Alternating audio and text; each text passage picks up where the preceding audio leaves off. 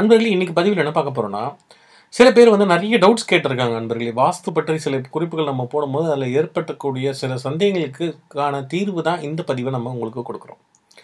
அதாவது சில பேருக்கு நிறைய பேர் கேட்டிருக்கிறது என்னன்னா இந்த தென்மேற்கு மூலையில் சில பொருள் வைக்கலாமா?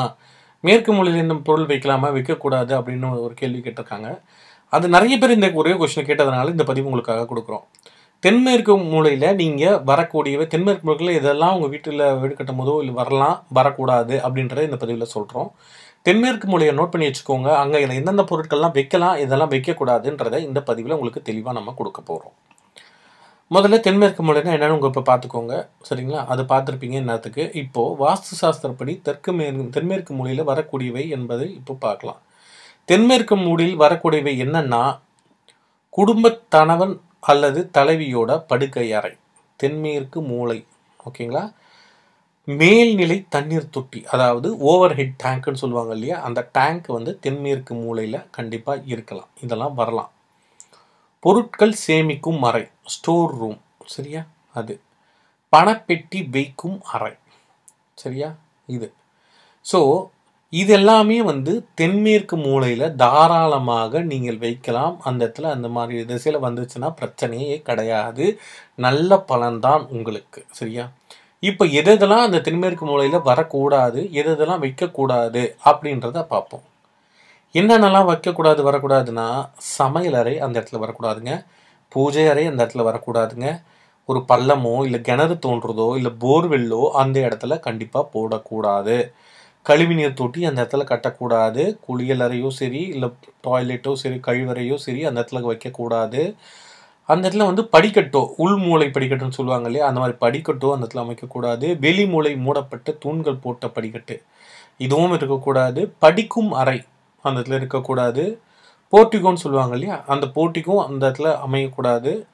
இன்வெர்ட்டர் இவி பாக்ஸ் ஜென்ரேட்டர் இது மூணுமே கூட அந்த இடத்துல அந்த இடத்துல விற்கக்கூடாது இதன் அடிப்படையில் நீங்கள் வீடு அமைச்சிங்கன்னா உங்களுக்கு கண்டிப்பாக நன்மை விளைவிக்கும்.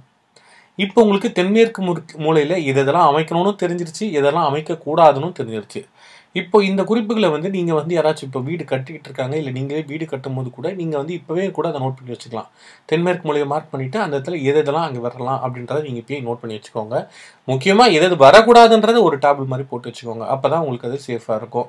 அடுத்தடுத்து ஒரு ஒரு மூலையில் என்னென்னலாம் வரணும் வைக்கக்கூடாதுன்றத அடுத்தடுத்த பதிவில் வாஸ்து நம்ம சொல்ல போகிறோம் இப்போது இது கூடவே வந்து உங்களுக்காக இன்னொரு இதுவும் இப்போயே சொல்லிடுறாங்க.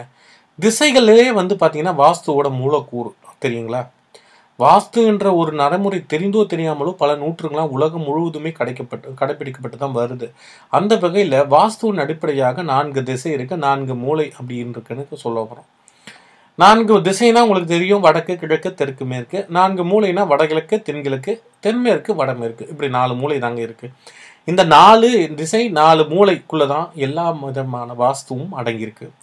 இந்த வடக்கும் கிழக்கும் சந்திக்கும் இடம் வடகிழக்கு மூலி அதாவது ஈசானிய மூலை இல்லைனா சனி மூலைன்னு சொல்லுவாங்கங்க.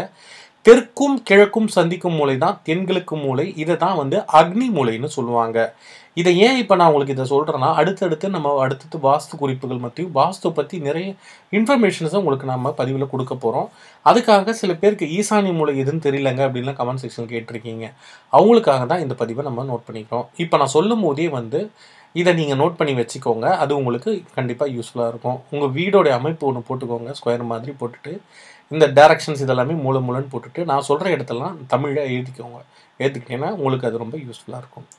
தெற்கும் மேற்கும் சந்திக்கிற இடங்க தாங்க தென்மேற்கு மூலை இதை வந்து என்ன சொல்லுவோம்னா கன்னி மூலைன்னு சொல்லுவோம். இல்லைன்னா நைரோதி மூலைன்னு சொல்லுவோம். அப்புறம் வடக்கும் மேற்கும் சந்திக்கிற இடம் தாங்க வடமேற்கு மூலை இதை வாயு மூலைன்னு சொல்லுவாங்க. இப்படி திசைகளும் மூளைகளும் அடிப்படையாக கொண்டு அதற்கு ஏற்றாற் போல நம்ம நல்முறையில் ஒரு வீடோ அல்லது தொழில் நிறுவனமோ கட்டும்போது மனிதனுடைய வாழ்வு தடுமாற்றமோ தடுமாற்றமே இல்லாமல் அமையும் என்பது ஒரு நிதர்சனமான உண்மை. இப்போ உங்களுக்கு வடகிழக்கு இந்த கிழக்கு பற்றியும் மூளைகள் பற்றியும் உங்களுக்கு ஒரு தெளிவான மூளை கிடச்சிருக்கும் ஒரு இது கிடச்சிருக்கும். இப்போ தென்மேற்கு மூளை பற்றி நம்ம முன்னாடியே சொன்ன மாதிரி எதுலாம் அங்கே வரலாம் வரக்கூடாதுன்றதை நீங்கள் வச்சுக்கோங்க. அடுத்து வடகிழக்கு வடமேற்கு இது மாதிரி பண்ணலாம். சில விஷயங்கள் அடுத்தடுத்து நம்ம பதிவில் சொல்ல போகிறோம் அது வந்து யூஸ் பண்ணி நீங்கள் வந்து ஒரு வாஸ்து ஸ்பெஷலிஸ்ட்டாகவே நீங்கள் மாறிடலாம். நம்மளுடைய வீடியோக்களை தொடர்ந்து சப்ஸ்கிரைப் பண்ணுங்கள் எல்லா வீடியோவும் பாருங்கள் உங்களுடைய பணம் சேருவதற்கும் சரி இல்லை வாஸ்துப்படி உங்கள் வீட்டில் ஏற்பட்ட பிரச்சனைகளுக்கான தீர்வை நீங்களே செய்யலாம் என்பவர்கள் யாரையும் நம்பி நீங்கள் எதையும் செய்ய வேண்டாம். யாரிடமும் எந்த காசு கொடுத்தும் நீங்கள் மாற வேண்டாம். சரிங்களா? அடுத்தடுத்து நம்ம பதிவில் சந்திப்போம். இந்த வீடியோ உங்களுக்கு பிடிச்சிருந்தா லைக் பண்ணுங்கள் எல்லாருக்கும் ஷேர் பண்ணுங்கள் ஃப்ரெண்ட்ஸ்க்கெலாம் சொல்லி சப்ஸ்கிரைப் பண்ண சொல்லுங்கள் நீங்களும் மறக்காமல் சப்ஸ்கிரைப் பண்ணுங்கள் நன்றி. வணக்கம்.